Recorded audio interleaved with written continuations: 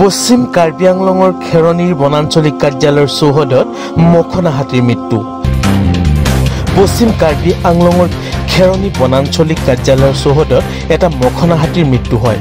বিগত চাৰি পাঁচ মাহ ধৰি বৃহত্তৰ খেৰণী অঞ্চলত ধাৰাবাহিকভাৱে উপদ্ৰৱ চলাই থকা এটা বৃহৎ বনেৰে হাতীৰ জাকক বনাঞ্চললৈ খেদি পঠোৱাৰ কামত ব্যৱহাৰ কৰিবলৈ দুটাকৈ পোহনীয়া হাতী ৰখা হৈছিল খেৰণী বন বিভাগৰ কাৰ্যালয়ত। দুখজনক বিষয় যে ইয়াৰে এটা চাৰিদিনৰ পৰা অসুস্থ হৈ নিশা মৃত্যু হয়।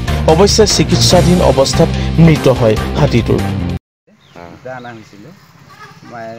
ইয়াত যিটো বনৰীয়া হাতীয়ে পাব্লিকৰ ক্ষতিসাধন কৰি আছিলে সেই ক্ষতিসাধনটোৰ পৰা সিহঁতক মানে পাব্লিকক ৰক্ষা কৰিবৰ কাৰণে ফেব্ৰুৱাৰী বাৰ তাৰিখৰ পৰা এই গুৱাহাটী প্ৰটেকশ্যন ফ'ৰ্চ এটা আছিলে আৰু হোজাই লংকা লামডিং ৰেঞ্জৰ ষ্টাফবিলাকো আছিলে। মানে পঁচিছ ছাব্বিছজনীয়া দল এটা আছিলে। সেই হাতী খেদিবৰ কাৰণে আছিলে। আৰু সিহঁতৰ হাতী খেদাত ঘৰচীয়া হাতী খেদি আনি পেলাই বনৰীয়া হাতী খেদাৰ সুবিধা হয় বুলি সেইকাৰণে অনা হৈছিলে আৰু।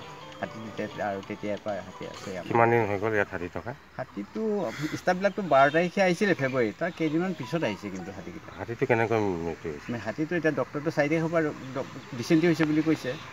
পাতল পায়খানা হৈ আছিলে তাতে ডক্টৰক মাতিলোঁ কেৰণী ডক্টৰ আহিলে চাৰি তাৰিখে ট্ৰিটমেণ্ট কৰিলে ডক্টৰে ঔষধ চৌষধ দিলে। তাৰ পিছদিনাখন ডবকা ডক্টৰ আহিলে ডবকা ডক্টৰো চেলাইন চেলাইন ঔষধ চৌষধ দিলে। তাৰপিছত কালি কালি সিহঁতে গুৱাহাটী ভেটেনেৰী কলেজৰ ডক্টৰ কুশল শৰ্মা। এই কুশল শৰ্মাৰ ইনষ্ট্ৰাকশ্যন মতে ঔষধবিলাক লৈ আহিলে মালিকে। হাতী মালিকেই কৰি আছে এইকেইদিন। আনি পেলাই ঔষধ চৌষধ ট্ৰিটমেণ্ট কৰিছে আৰু। যাতে ৰাতি আৰু এটামান বজাতে হাতী সোমাইছে যোৱা ৰাতি এটামান বজাত। খেৰণীৰ পৰা Alok Barman Borbora report Indian prime news Asom.